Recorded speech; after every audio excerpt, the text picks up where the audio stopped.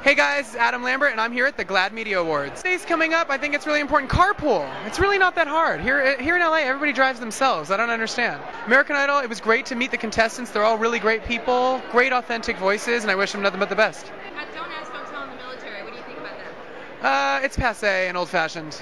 And marriage equality, do you support it? Yes, of course. Hey, I'm Adam Lambert, and we are CNN.